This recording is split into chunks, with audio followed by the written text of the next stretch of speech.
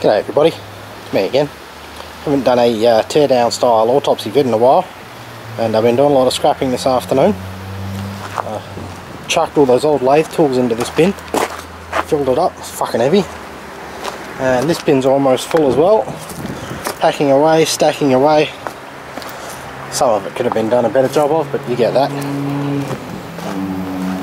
Anyway, so like it says, it's a Maglev, Mag, Maglev, Mag Air 3000 uh, recumbent exercise bike. I'm guessing by the fact it says Mag Air, there's uh, magnetic something or other in there. Sense the RPM maybe something, but mostly I think it just uses air for resistance. Um, gonna figure this out anyway. Take the covers off, see how it works. We'll uh, find out.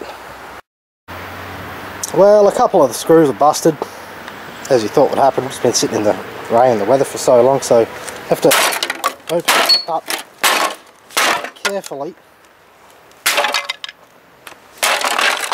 to expose the innards. Freewheeling clutch.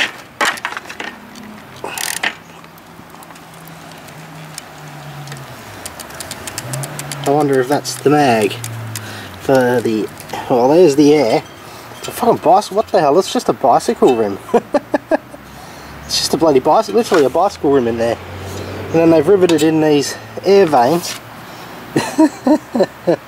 oh, the funny things you see sometimes. Like know what that is. That might be the sensor for the RPMs or whatever. But apparently it, it generates its own electricity. It doesn't work anymore. It's dead. But apparently once you put it yonder it did actually generate its own electricity. Now there's a magnet there and there's your Hall sensor. So that's like a Hall effect pickup there. I'm going to steal that. Might be useful. Dodgy wiring's not useful. That's not useful. It's just a rectifier and a couple of caps. That actually might be the, the module that made the electricity from that. Anyway, I'll see if I can get that grill off and we'll have a look have a look a bit more inside. So you can figure out what's inside that hub. Hmm.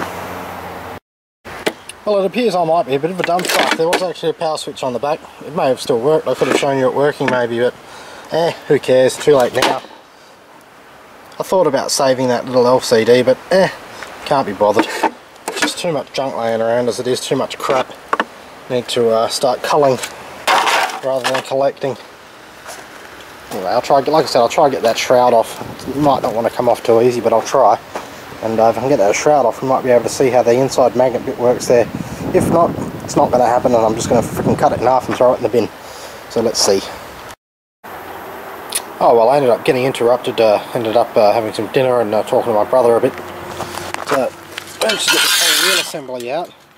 Now, it looks to me like there's a magnet a magnetic brake I'm not sure what's in there. I really want to pull this apart and find out. But it appears that there's a magnetic brake here which also generates the electricity for the uh, machine to run. Um, so there's going to be generating coils in there somewhere. And I'm not entirely sure about this outside section because it's definitely that bit that stays still in the machine then this spins around it like such. So I wonder if there's some magnets in here maybe? I'm not sure. So I really got to pull it apart and find out. We'll do a separate video on that part I hope if I get the time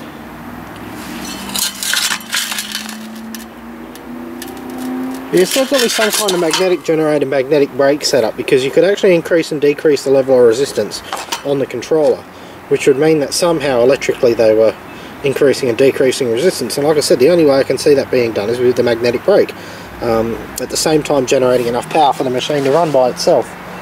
So uh, yeah I hope you guys find that a little bit interesting. Um, it's kind of on the subject I hope. And uh, yeah thanks for watching. Um, maybe uh, this weekend. I'll get stuck into this bastard again try get it running. See how time goes. Yeah anyway not to get distracted. Thanks for watching